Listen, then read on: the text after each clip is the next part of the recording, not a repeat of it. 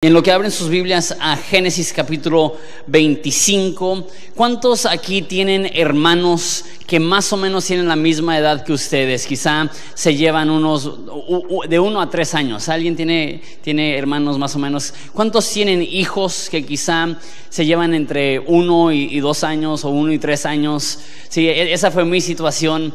Mi hermana me lleva un año, este, y fue la, típica situación de una hermana mayor mandona y un hermano menor molesto. Y cuando fusionas mandón con molesto, este, digamos que había uno que dos conflictos por ahí en, eh, nuestro hogar debido a, las edades que, teníamos. Aquí hay, una pareja, mínimo que sé, quizá más, que tienen gemelos, entonces eso aumenta aún un poco más la rivalidad, el conflicto. Y vamos a, hacer, vamos a ver precisamente eso el día de hoy, la historia de dos gemelos que tenían mucho conflicto, muchos problemas, y vamos a aprender acerca de, la paternidad, de, la maternidad, del ser papás. Y cuando diga el día de hoy papás, no me estoy refiriendo únicamente a los hombres, estoy hablando papás como papá y mamá, los, los padres de, de los hijos y hace la semana pasada hablamos a solteros y hablamos acerca de cómo encontrar pareja. Hoy vamos a hablar más a los padres, pero eh, al igual como la semana pasada había cosas aplicables, aunque no, aunque ya estuvieras casado, igual el día de hoy quizá esto es preparativo, aunque todavía no tengas hijos puedes empezar a desarrollar estos hábitos en tu vida que te va a ayudar para el momento en el cual puedas tener. Y obviamente si tienes hijos, independientemente de la edad de que, tengan, eso va a ser súper, súper útil para ti. Entonces, el plan es que vamos a leer eh, Génesis capítulo 25, del 19 al final del capítulo, nos vamos a brincar el 26 y vamos a leer la mayoría del capítulo 27. Ese es el plan, es una historia muy interesante, un poco larga, pero eh, interesante, dice así. Este es el relato de la familia de Isaac, hijo de Abraham. Cuando Isaac tenía 40 años se casó con Rebeca, hija de Betuel, el arameo, y de Padán Aram, y hermana de Labán, el arameo. Isaac rogó al Señor a favor de su esposa porque ella no podía tener hijos. El Señor contestó la oración de Isaac y Rebeca quedó embarazada de mellizos. Estaba potente su oración. Pero los dos niños luchaban dentro de su vientre, me imagino así, si cuando tienen un niño se ve cómo se mueven, ahora imagínate, literalmente sentía que estaban luchando dentro de, de su vientre. Así que ella consultó al Señor, ¿por qué me pasa eso? preguntó. Y el Señor le dijo, los hijos que llevas en tu vientre llegarán a ser dos naciones y desde el principio las dos naciones serán rivales. Una nación será más fuerte que la otra y tu hijo mayor servirá a tu hijo menor. Eso es Dios hablando proféticamente. El segundo hijo va a ser más fuerte que el primer hijo. Cuando le llegó el momento de dar a luz, Rebeca comprobó que en verdad tenía mellizos.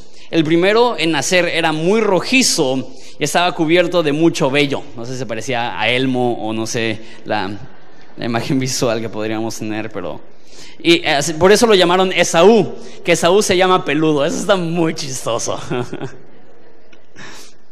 Después nació el otro mellizo, agarrado con la mano del talón de Saúl, por eso lo llamaron Jacob, y Jacob puede significarse una de dos cosas, literal, tropezar a alguien del tobillo o engañador o usurpador, eh, más o menos ese estafador, es como, como la idea de, del nombre de, Jacob, bonito nombre que le pusieron, ¿no? Eh, de la forma que, veas es un nombre, es un nombre eh, desafortunado, si te llamas Jacob, no lo tomes personal, simplemente es lo que significa.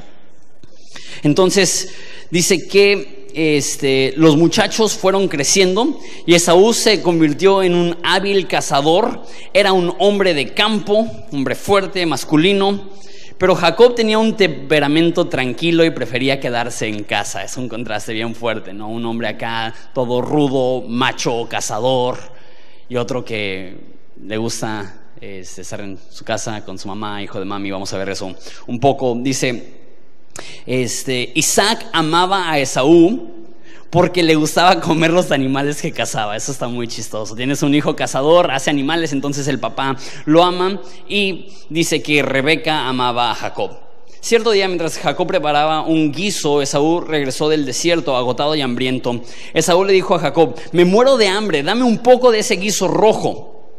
Así es como Esaú obtuvo otro nombre, Edom, que significa rojo. Entonces, aparte de ser peludo, es un peludo rojo. Bueno, Muy bien, respondió Jacob. Pero dame a cambio tus derechos del hijo mayor. Ahorita explico esto. Mira, me estoy muriendo de hambre, dijo Esaú. ¿De qué me sirven ahora los derechos del hijo mayor? Pero Jacob dijo, primero tienes que jurar que los derechos del hijo mayor me pertenecen a mí. Así que Esaú hizo un juramento mediante el cual vendía todos sus derechos del hijo mayor a su hermano Jacob. Entonces Jacob le dio a Esaú el guiso de lentejas y algo de pan. Esaú comió y luego se levantó y se fue y así mostró desprecio por sus derechos del hijo mayor. Eso es importante, lo hablamos en un segundo. Cierto día, me estoy brincando el 26 y yendo hasta el 27. Cierto día, cuando Isaac ya era viejo y estaba quedándose ciego, llamó a Esaú, su hijo mayor, y le dijo, hijo mío, sí padre, respondió Esaú, yo ya soy un hombre viejo, dijo Isaac, y no sé cuándo moriré. Toma tu arco y una aljaba llena de flechas y sal al campo abierto a cazar un animal para mí. Prepara mi comida, mi comida preferida y tráemela aquí para que coma. Entonces pronunciaré la bendición que te pertenece a ti, a mi primer hijo varón, antes de que yo muera. Rebeca oyó lo que Isaac había dicho a su hijo Esaú. Entonces, cuando Esaú salió a cazar un animal, ella dijo a su hijo Jacob: Escucha, oí a tu padre decirle a Esaú: Caza un animal y prepárame una comida deliciosa. Entonces te bendeciré en presencia del Señor antes de morir.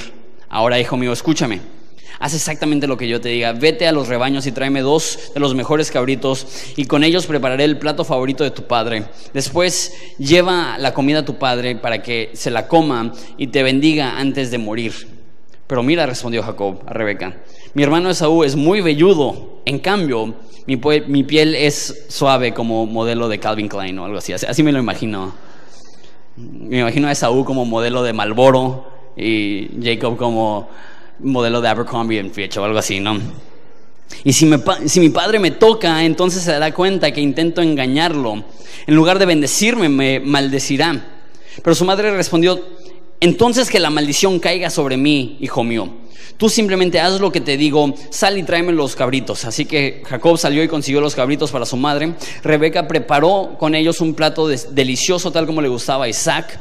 Después tomó las ropas favoritas de Saúl que estaban ahí en la casa y se las dio a su hijo menor Jacob. Con la piel de cabritos ella le cubrió los brazos y la parte del cuello donde no tenía vello. Luego le entregó a Jacob el plato delicioso de pan y el pan recién horneado. Entonces Jacob llevó la comida a su padre. Padre dijo, Sí, hijo mío, respondió Isaac. ¿Quién eres, Esaú o Jacob? Soy Esaú, tu hijo mayor, contestó Jacob. Hice tal como me pediste, aquí está lo que casé, ahora levántate y come para que me puedas dar tu bendición. ¿Cómo es que encontraste la presa tan rápido, hijo mío? El Señor dio, tu Dios la puso en mi camino, contestó Jacob.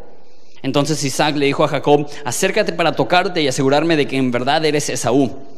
Entonces Jacob se acercó a su padre y le tocó. La voz de Jacob, pero las manos son las de Esaú, dijo Isaac. Sin embargo, no reconoció a Jacob porque cuando tocó las manos de Jacob estaban velludas como las de Esaú. Así que Isaac se preparó para bendecir a Jacob. ¿De verdad eres mi hijo Esaú? preguntó. Sí lo soy, contestó Jacob. Entonces Isaac dijo, ahora hijo, tráeme lo que cazaste, primero comeré y después te daré mi bendición. Entonces Jacob llevó la comida a su padre Isaac la comió. También bebió del vino que Jacob le sirvió. Luego Isaac le dijo a Jacob, acércate un poco y dame un beso, hijo mío. Así que Jacob se le acercó y le dio un beso. Entonces Isaac, al sentir el olor, que cuando huele tan feo algo que lo sientes, sabes que es... Está hediondo el olor de la ropa, finalmente convencido, dijo, ay Dios mío, este es el olor de mi hijo, es el olor del campo que el Señor ha bendecido da la bendición, dice, del rocío de los cielos y de la riqueza de la tierra, que Dios te conceda siempre abundantes cosechas de grano y vino nuevo en cantidad. Que muchas naciones sean tus servidoras y se inclinen ante ti, que seas el amo de tus hermanos y que, que los hijos de tu madre se inclinen ante ti. Todos los que te maldigan sean malditos y todos los que te bendigan sean bendecidos. En cuanto Isaac terminó de bendecir a Jacob, casi antes de que Jacob saliera de presencia del padre, este, Esaú regresó de cazar preparó una comida deliciosa y la llevó a su padre. Entonces dijo, levántate, padre mío, y come lo que he cazado para que puedas darme tu bendición. Pero Isaac dijo, ¿quién eres tú? Soy tu hijo, tu hijo mayor. Esaú contestó.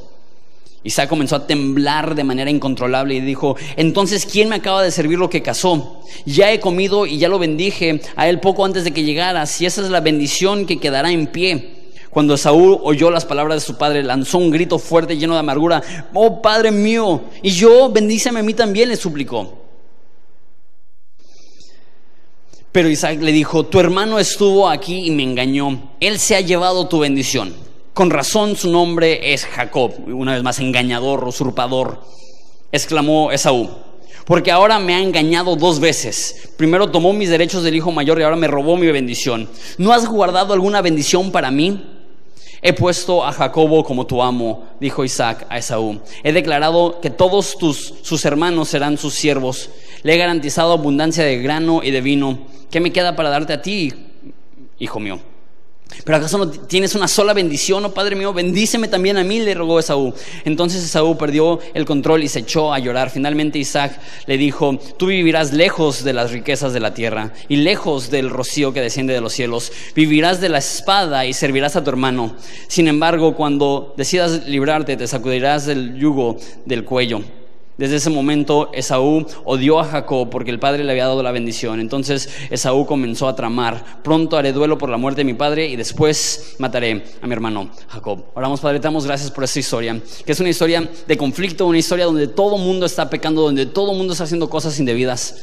Sin embargo, en esa mañana podemos aprender qué no hacer todas las cosas eh, en nuestras vidas que, podemos corregir desde ahorita para que más adelante no terminen destruyendo nuestras familias. Padre, te necesitamos en, en tu nombre precioso que pedimos esto. Amén. Conforme evoluciona la cultura, diferentes cosas suben a la superficie como prioridades. Y siento que últimamente, quizá en los 30 años, una de las prioridades que ha sido reemplazada es la prioridad de la familia. Siento que más en, México y en Latinoamérica, históricamente le hemos, le hemos, dado, una importancia grandísima a la familia, al núcleo familiar, a, tener hijos y... Pero últimamente más gente de mi edad parece que lo último que quieren es tener hijos. Le preguntas a alguien de 18 años, o a alguien de 16 años, o a alguien de 22 años, ¿tienes ganas de tener hijos? Le dicen, ay, no, por favor, no. y, y, casi, casi hay esta actitud que tienes hijos porque tienes que, pero realmente quién quiere eh, sacrificar sus libertades, quién quisiera hacer eso. No, no hay mucho enfoque hoy en día en la importancia de desarrollar un hogar. Una de las palabras que antes se escuchaba más, que ahora rara vez se escucha, es el concepto de legado, de querer dejar un buen nombre para tu familia, que generaciones puedan ser beneficiados por cómo viviste tú. Que tú seas una persona de honor, de respeto, de valor y que la comunidad identifique tu nombre con algo positivo. Este, pienso aquí en Ensenada, en la familia Rudametkin que, la señora Vera Rudametkin, los que son ensenadenses de tiempo ubican el nombre, la señora Vera Rudametkin y su, su, esposo eran hombres de honor, hombres de respeto, y hasta la fecha sus hijos, nietos y bisnietos están disfrutando del buen nombre que desarrollaron sus abuelos y sus, sus bisabuelos. Eh, pero siento que eso ya se está olvidando hoy en día. Hoy en día pareciera que la prioridad para gente que no es cristiano es el éxito, es el dinero, es el sobresalir a toda cuesta. Y si eso significa cortar esquinas, y si eso significa transar, y eso significa hacer cosas mal, pues siempre y cuando yo pueda tener un poco más de dinero, un poco más de comodidad, no me importa manchar el nombre de mi familia. Creo que también en el ámbito cristiano no se le da la importancia necesaria al concepto de dejar un legado. Creo que por mucho tiempo se enfatiza lo del rapto, lo de la segunda venida, que debemos estar listos y creemos en eso. Pero muchas veces estamos tan listos ya para que regrese Jesús que no estamos pensando a largo plazo, no estamos pensando en nuestros hijos, en nuestros nietos, en nuestros bisnietos. Esto mismo pasó en la Biblia, que habían personas que estaban en pecado y Pablo les escribe en 1 Tesalonicenses, dices, neta, ¿quieres que cuando el Señor regrese te encuentre pecando? De repente las personas dijeron, ah, entonces viene en cualquier momento, entonces ya no hay que casarnos, ya no hay que tener hijos, ya no hay que trabajar, porque Dios puede llegar en cualquier momento. Y Pablo otra vez escribe y dice, no, no, no, que cuando Dios regrese te encuentre ocupado que debemos de vivir con la urgencia de que Dios podría regresar en cualquier momento, pero planear con la longevidad de que si Dios no regresa, quiero planear un buen futuro para mi familia. Proverbios dice que un hombre sabio deja herencia a los hijos de sus hijos. Y, quizá no tengas el dinero para dejar una herencia grande económicamente, pero sí puedes dejar una herencia de un buen nombre, de un buen legado, de que signifique algo ser un, en mi caso, parte de la familia Domingo, que signifique algo ser parte de tu familia. Entonces tengo cinco puntos el día de hoy. El primero es prácticamente lo que acabo de decir. No olvides tu legado.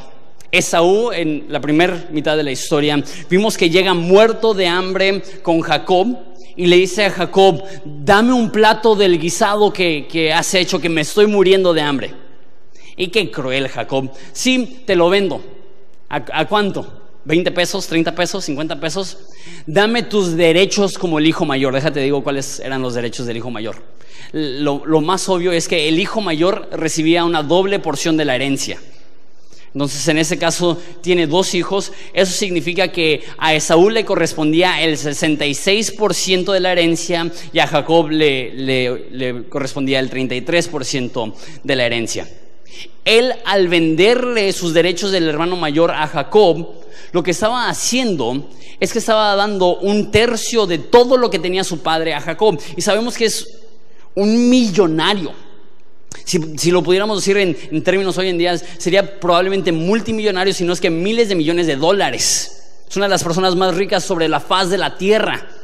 Entonces, él está pagando con millones y millones y millones de dólares es esta cena. O sea, ¿dónde cabe hacer eso? Pero no solamente era una doble porción de la herencia, sino que también conllevaba una bendición especial que el papá antes de morir daba una bendición profética acerca de lo que Dios iba a hacer en su vida y al ceder su derecho de, primogénito, su derecho de hermano mayor, estaba cediendo e, esa bendición profética que le iba a dar su padre. Y por último, y quizá lo más importante, es que el hermano mayor, cuando se moría el papá, se convertía en el patriarca. Se convertía en la cabeza no solamente de su propia familia, sino también de todas las familias que están a su alrededor, de sus hermanos, de sus, de sus sobrinos. Él se convierte eh, en, en, el, en la cabeza del hogar, en la cabeza del clan, si lo quieres ver así. Entonces recuerda, esos antes de un proceso jurídico, esos antes de policías, esos antes de, de, de jueces formales. Entonces tú cuando eras el patriarca, eras como el rey. Eras, el, el, que tomaba el mando, el patriarca, el líder de la familia, y él está cediendo eso. Por eso hasta hoy en día adoramos al Dios de Abraham, Isaac y Jacob, no el Dios de Abraham, Isaac y Esaú. No pensaría que Esaú siendo el mayor tendría ese puesto, pero lo cedió. ¿Por qué lo cedió? Por un plato de comida. Entonces, pues estaba muriendo de hambre. Sí, pero ya había llegado a su casa. ¿Cuánto le costaba ir a pedirle a otro siervo que le preparara un plato de comida? Pero nos da la clave, dice, menospreció sus derechos como hermano mayor. ¿Qué significa eso? Le valía servir en la familia, le valía llevar el nombre de su familia, le valía ser eh, el, que podría resolver los conflictos de su familia. ¿Qué es lo que le importaba el ahorita? ¿Qué es lo que le importa el hoy? ¿Qué es lo que le importa? Esaú, tener hambre, dar comida, ¿no? Así como que eh, esta actitud de dame esa comida o me voy a, morir y, no me importa cuánto me cueste, te doy millones de dólares, te, doy la bendición a largo plazo, te doy... Eh, el, privilegio de, ser el patriarca de este hogar. Qué gacho Jacob, qué tonto Esaú. Y, pero lo mismo pasa, muchas veces no estamos pensando a largo plazo. No estamos pensando en nuestros hijos y nuestros nietos y en nuestros bisnietos y cómo nuestro nombre puede ayudarles o perjudicarles. Eso es algo que yo soy convencido que ha sido una influencia increíblemente positiva en mi vida. Muchas de las bendiciones y oportunidades que yo he tenido ha sido simplemente porque soy hijo de Juan Domingo y Juan Domingo se ha asegurado que ese nombre signifique algo. Y, me encanta ahora con mi hijo, que mi hijo literal se llama Juan Domingo. Y yo sé que mi papá, perdón, yo sé que Juanito, mi hijo, entrará a lugares y dirán, Juan Domingo, yo, yo conozco a tu abuelo, él es una buena persona y él recibirá oportunidades y puertas abiertas simplemente, independientemente de lo que él haga o de lo que él sea, simplemente por el tipo de vida que vivieron mis papás. Pero no muchas veces pensamos así. O quizá tú piensas, no, pues qué chido para ti, Jonathan, tú tuviste padres que sí invirtieron en su legado, pero yo no tuve padres así creo que ya se los mencioné hace poco, pero mis papás tampoco tenían ese trasfondo. mi abuelo paterno, papá de mi papá, era alcohólico que dejó a su familia antes de que naciera mi papá. Eh, del lado de mi mamá, mi abuelo era narcotraficante que lo mataron en Reynosa. De repente la gente dice, Jonathan, eres un poco rudo, lo tengo en mis genes. y ellos decidieron hacer un cambio. Porque quizá tus padres no se enfocaron en el legado que podían dejar, pero eso no significa que tú no puedes ser el primer eslabón de una nueva cadena que se está formando de bendición, no solamente para tu vida, sino para la vida de tus hijos, la vida de tus nietos y por generaciones que puedan ser bendecidos por las decisiones que nosotros estamos haciendo hoy. La Biblia dice que un buen nombre es mejor que el dinero y muchas veces la mejor herencia que puedes darle a tus hijos es simplemente ser una persona honesta, una persona íntegra, una persona de respeto y una persona que se gana un buen nombre nombre para la familia. Literal, ¿cuándo fue la última vez que tuvimos una conversación así? Eso ya pasó tanto de moda, eso ya la, gente y más la gente de mi edad ni les pasa por aquí.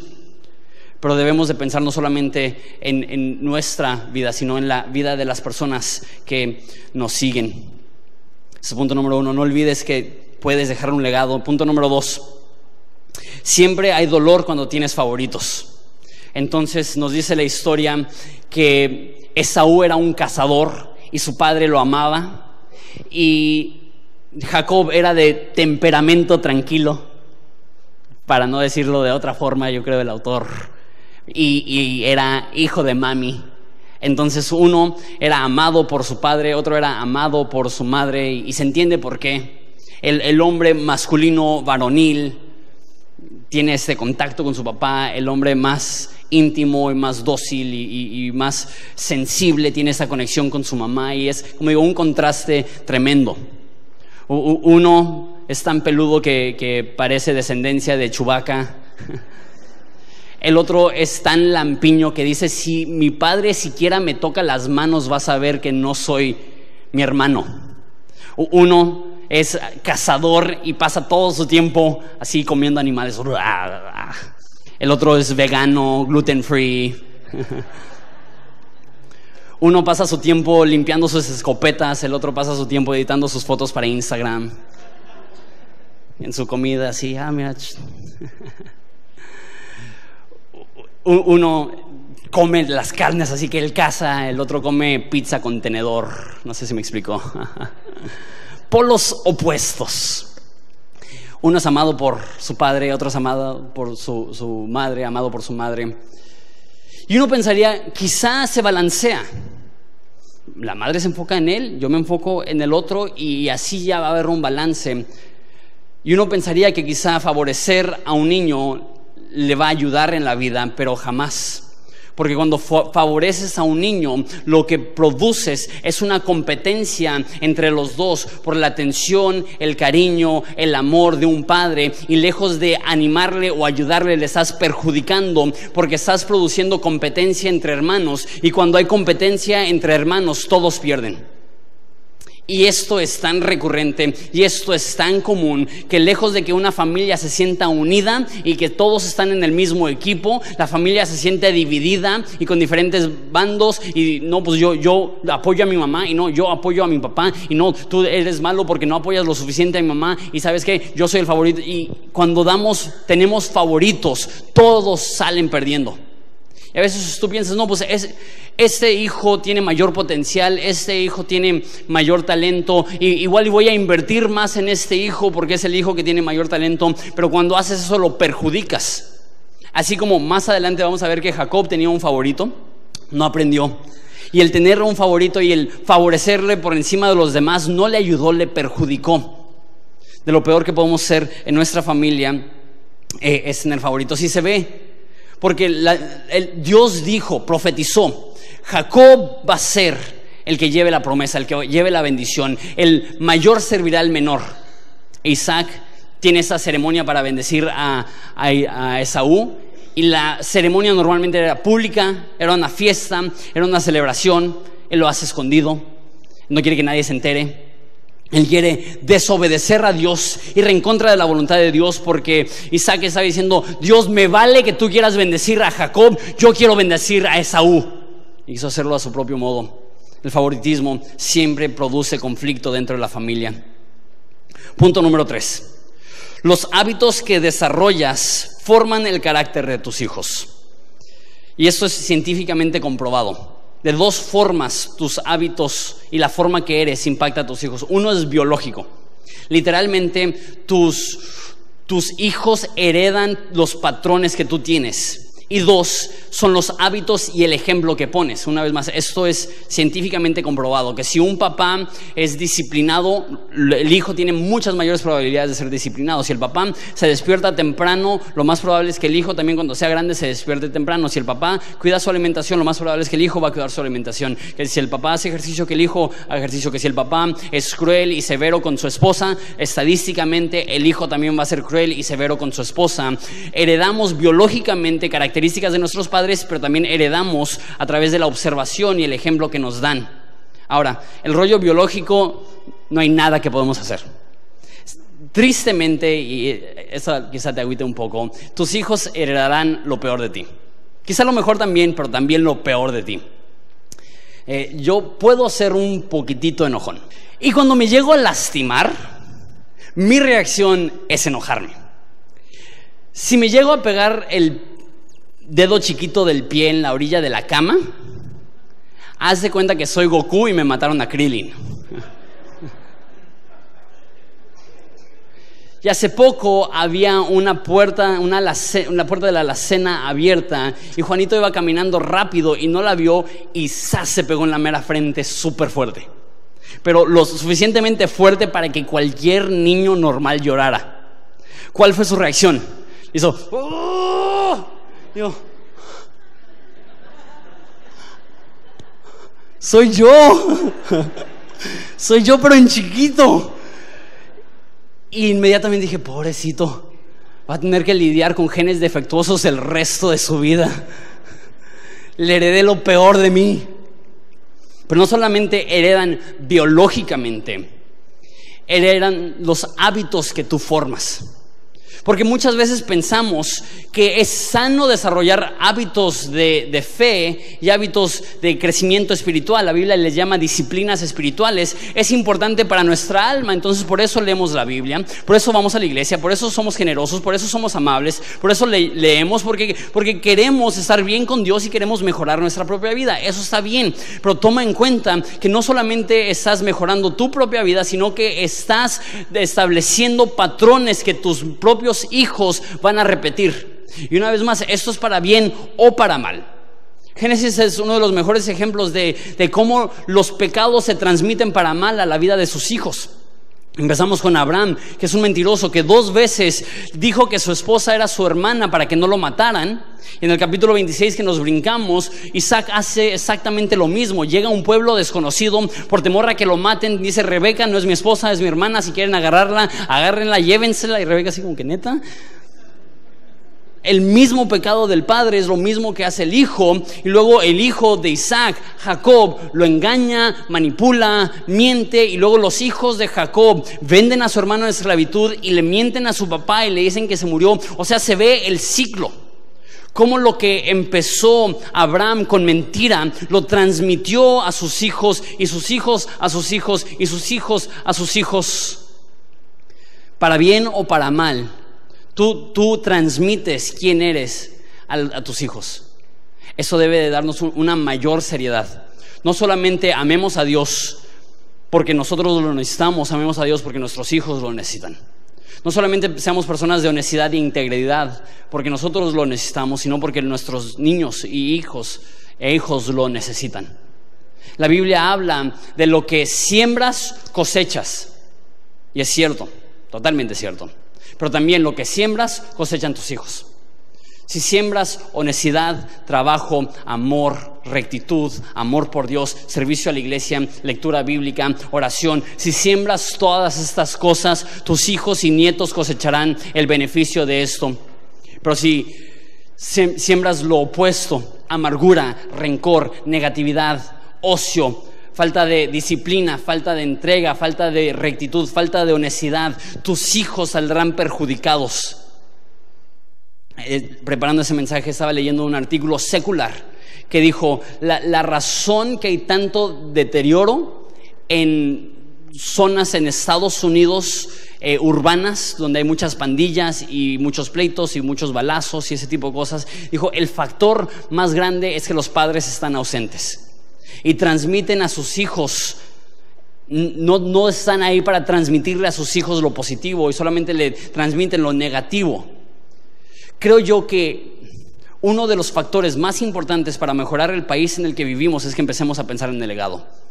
Empecemos a pensar, quiero invertir en la vida de mis hijos. La mejor inversión de nuestro tiempo que podemos hacer es desarrollar a hijos que amen a Dios, que sirvan a Dios, que vean en nosotros rectitud, honestidad, sinceridad, que no vean en nosotros hipocresía. Y no quiero ser demasiado cruel o desconsiderado, pero creo que una de las razones que existe el dicho, hijo de pastor lo peor, es porque hay muchos pastores que predican bien bonito, pero no viven tan bonito. Y uno de los factores más importantes en mi vida, que ahora yo soy pastor, así como mi papá es pastor, es porque yo vi en mi hogar la honestidad que debe de haber. No que predicaba una cosa y vivía de otra forma, sino la, la sinceridad. Y eso no significa que tenga una familia perfecta, significa que tuve un modelo de alguien que pudo ser franco y sincero desde el púlpito, que no tenía que pretender ser perfecto. Es algo que yo quiero imitar. Cada vez que me paro aquí, quiero poder hablar de mis fallas. Y hay muchas personas que se escandalizan y dicen, ay, ese Jonathan, ¿qué problemas tiene? Lo hago súper a propósito para que no pongas los ojos en mí, para que pongas los ojos en Jesús, pero para que sepas que lo que tus hijos necesitan no es un padre perfecto, es un padre que se esfuerce para guiarlos, protegerlos, amarlos y ser un buen ejemplo para ellos. Los hábitos que tú formas formarán los hábitos de tus hijos. Punto número cuatro, eso lo voy a ver un poco más rápido. Punto número cuatro, todas las familias tienen problemas y eso es otro tema recurrente que estamos viendo en Génesis. Todos pecan en esa historia. Isaac peca por favoritismo y por a escondidas querer bendecir a Esaú. Esaú peca por tonto, por vender su, su, herencia a su hermano. Jacob eh, peca por mentiroso y, y Rebeca peca por favoritismo y por mentirosa. Todas las personas de esa historia están requete mal. Y tenemos esa tendencia de tomar a los patriarcas y hacerlos héroes de la fe y minimizar todos sus errores y solamente enfocarnos en, sus momentos buenos. Pero ese es un momento en el cual nos damos cuenta, aún personas que son amadas por Dios, que son parte del propósito de Dios, son súper problemáticas. ¿Y por qué te digo esto? Lo hablé hace unas semanas. No es que mal de muchos remedios de, o consuelo de tontos. No, no, es que estoy diciendo, no, pues a ellos les fue mal, entonces pues no hay apuros y también te va mal a ti. Lo que estoy diciendo es que muchas veces la razón que batallamos tanto con la paternidad es que tenemos eh, expectativas poco realistas con nuestros hijos. Eso empieza desde que eres soltero. Por eso es bueno que estamos platicando con esto, de esto, aún si eres soltero. Yo me acuerdo cuando veía y todos nos podemos relacionar con eso. Cuando veía en el mercado un niño haciendo un berrinche, que yo pensé, mis hijos jamás harán eso. Cuando veía a un niño que se pasaba de abusado o golpeaba a otro niño, yo decía, qué padre tan malo tendrá. Y de repente eres papá y te das cuenta que te tienes que tragar todos los juicios que hiciste sobre otros padres y te das cuenta que, que, la paternidad, aún con las mejores condiciones, es complicado, es difícil y sabes que tus hijos son humanos y necesitas darles espacio para, para errar, para equivocarse. Y uno de los terrores más grandes de los papás es, ay, ¿qué si me hace un berrinche mi hijo?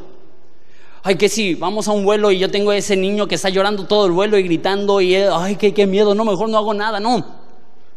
Son niños, se van a equivocar. La Biblia dice que los padres no deben de provocar a ira a sus hijos. Y creo que una de las cosas que provoca a ira a sus hijos es que ponemos sobre ellos expectativas no realistas, que el momento que erran, como cualquier ser humano va a errar, nos desesperamos y tomamos medidas que no son proporcionales. Ahora, no estoy diciendo que no hay un lugar para corregir, para castigar, para disciplinar, para tener reglas, para tener estructura. Todo eso lo debemos de tener. Pero sabiendo, nuestro hijo es humano. Y cuando falla, que lo primero que vea no es frustración, sino compasión. Que lo primero que vea no es enojo, sino paciencia para redirigir. Y una vez más, sé que en un mundo perfecto siempre sería así. Y sé que de repente te gana el cansancio, te gana la frustración pero desarrollemos esto. Si las familias de la Biblia tenían problemas, tenemos que estar dispuestos a ser lo suficientemente flexibles, a no escandalizarnos cuando nuestros hijos pasan por problemas. Y creo que eso es aún más importante cuando tienes hijos adolescentes. Estaba hablando con un pastor eh, ayer que tiene hijos adolescentes. Y y le dije, ¿cómo te va con hijos adolescentes? Así preparándome emocionalmente, ¿no? Para cuando a mí me toque. Me dijo, ay, verás que, que sí es bien difícil.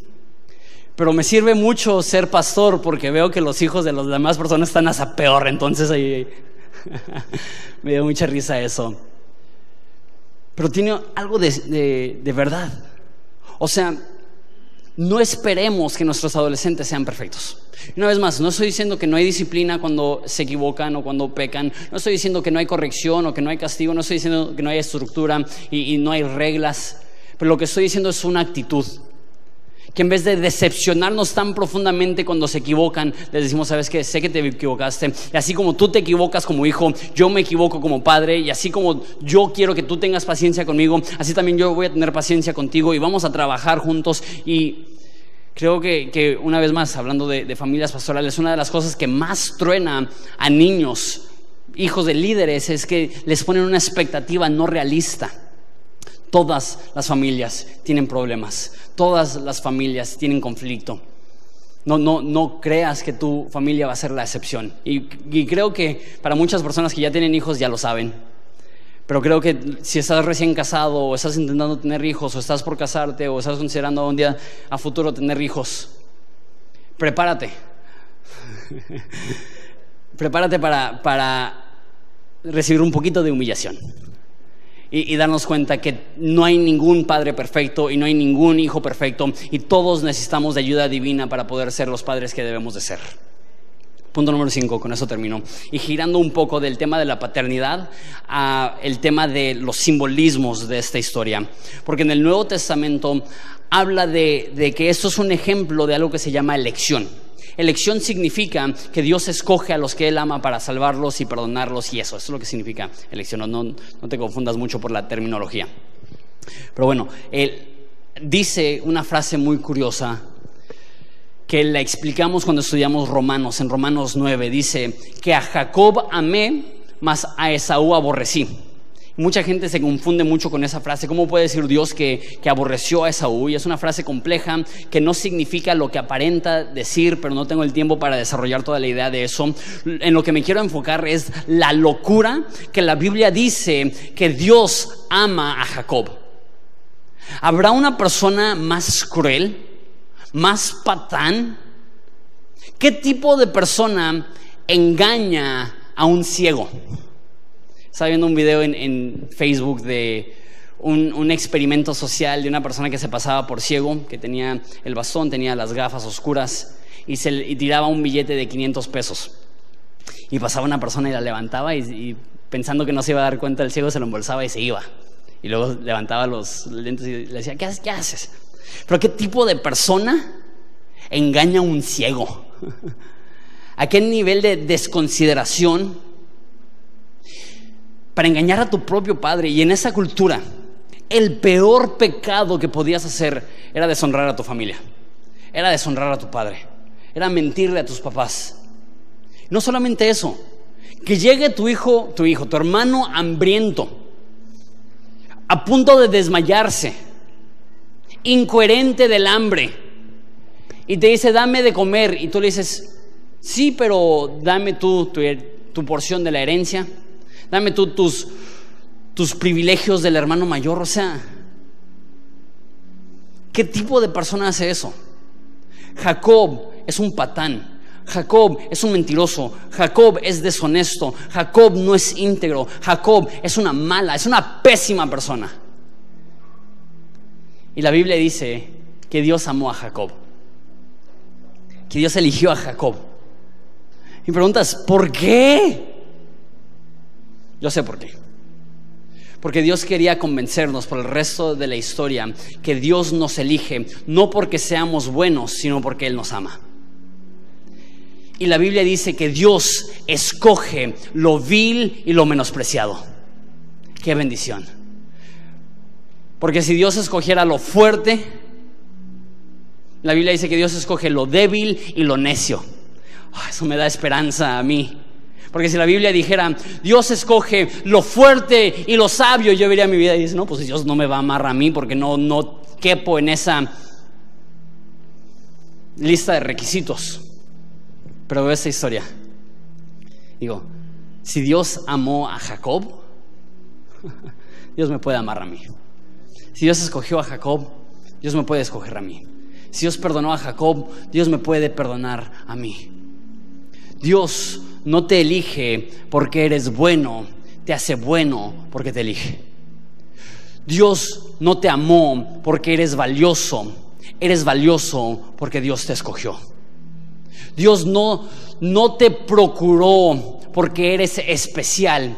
Eres especial porque Dios puso un sello sobre ti. Este es mi hijo. Y Jacob por el resto de la historia con todos sus problemas será recordado de forma positiva. No porque era una buena persona, sino porque era amada profundamente por Dios. Eso me da esperanza. Eso da esperanza a cualquiera. La Biblia dice que donde el pecado abunda, la gracia sobreabunda. Y es en ese contexto que la Biblia dice, no, depende ni del que quiere ni del que corre, sino Dios que tiene misericordia. Dios no se espera que tú seas lo suficientemente bueno para amarte. Él te ama en tu peor condición, en tu peor momento, en tu peor fracaso, en tu peor pecado. Es en ese momento que Él te eligió y Él dice, es mío. Ay, quisiera enseñar Romanos otra vez. Me, me encanta tanto ese tema. Pero lo que la Biblia dice es que Dios nos sostiene en desobediencia. Que cuando Dios te elige, es como un padre que agarra a un hijo de la mano. Dios llega a tu vida y dice, Él es mío, yo le amo, yo le voy a guiar. Y cuando nosotros pataleamos y cuando nosotros nos rebelamos y cuando nosotros nos queremos, Él dice que Él es capaz de sujetarnos aún en la desobediencia para mostrar su misericordia. Dios no te va a soltar. Dios, si no soltó, si no soltó a Jacob, no te soltará a ti. ¿Cómo puede ser que Dios tenga amor por alguien tan terrible, tan desagradable como Jacob? Pero me encanta, me encanta, porque si somos sinceros, tú y yo necesitamos un Dios con esa cantidad de gracia. No nos bastaría un Dios con menos gracia. No nos bastaría un Dios que dijera, no, pues me gustan algunos, pero ese Jacob, ese sí, oh, fuchi. Ese ni de chiste me acerco a él. Dios ama a los malos.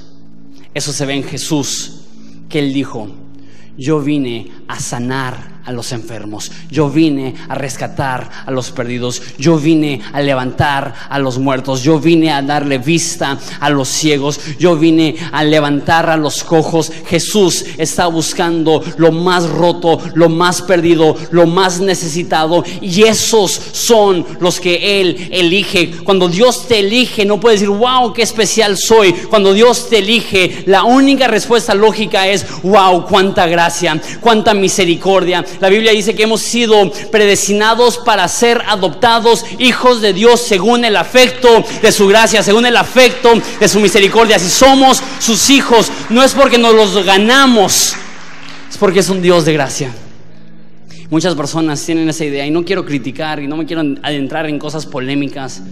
Pero muchas personas dicen, Dios escoge únicamente a los que Él sabe que le van a escoger a Él. Pero eso no es lo que veo en la Biblia. La Biblia dice que cuando éramos enemigos Él nos amó. Que cuando estábamos perdidos Él nos buscó. Que cuando ovejas, como, como, como, cuando ovejas nos habíamos perdido, Él es el buen pastor que deja el redil y va a buscarnos. Dios no te elige porque Él sabía que tú ibas a elegirlo a Él. Dios te elige porque incondicionalmente te ama y te amará por siempre. Lo que significa esto es que no hay ninguno de nosotros tan bueno que Dios se vio forzado a elegirnos. Pero tampoco hay nadie tan malo que Dios se vio obligado a rechazarlo. No sé si eso te llena de, esperanza. No hay nadie tan malo que Dios se ve forzado a rechazarlo. Una última cosa antes de cerrar este mensaje es que otra de las cosas recurrentes que veo en Génesis es que Dios promete grandes cosas, un futuro bello. A Abraham le promete, tú tendrás un hijo con Sara. Y se desespera y peca. Y eso le perjudica el resto de su vida. Desde antes de su nacimiento, Dios le dijo a Jacob, tú vas a ser el elegido. Tú serás el de la promesa. Pero se desesperó y lo intentó, lo intentó hacer a su modo, lo intentó hacer a su manera. Y lo veremos la próxima semana. Él tuvo que huir porque Saúl lo quería matar. Y tuvo que vivir como esclavo, por decirlo así, no totalmente esclavo, pero casi como esclavo por 20 años. Jamás volvió a ver a su madre que él tanto amaba. ¿Por qué? Por tomar las cosas a su modo. Así como Dios eligió a Jacob desde antes de que naciera. La Biblia dice que Él nos ha elegido a nosotros desde antes de la fundación del mundo y Él tiene grandes planes para ti y tiene un gran propósito para ti. Y aunque te sientas olvidado, Dios no te ha olvidado y aquel que comenzó la buena obra será fiel para terminarla. Pero ten cuidado que no te desesperes en el proceso, que no intentes tomar las cosas en tu propio control, intentar forzar la voluntad de Dios en tu vida. La fe y la paciencia y la confianza van de la mano y muchos de las personas en la Biblia sufren porque tienen el llamado correcto, pero falta de paciencia. Tienen el propósito correcto, pero están dispuestos a hacer las cosas mal para llegar a eso. Que tengamos la paciencia, regresando a lo delegado, para saber que Dios está obrando y Dios no tiene prisa. Hay urgencia, mas no hay prisa y no debemos de pensar solamente en lo que está pasando hoy, sino en lo que pasará mañana y en 20 años y en 50 años y en 100 años y en 200 años, que las decisiones, los hábitos, la forma que vivamos ahora pueda bendecir a nuestros hijos y a nuestros nietos y a nuestros bisnietos, porque hoy grita más fuerte, pero mañana grita más tiempo y las necesidades duraderas y longevas son infinitamente más importantes que las necesidades presentes que gritan fuerte. Estemos dispuestos a ser padres que piensan en el proceso completo, no en el momento únicamente, sino saber, Dios está haciendo una obra, Dios va a cumplir lo que Él ha prometido, pero va a ser a su tiempo y a su modo, no a mi tiempo ni a mi modo. ¿Les parece si nos ponemos de pie y oramos?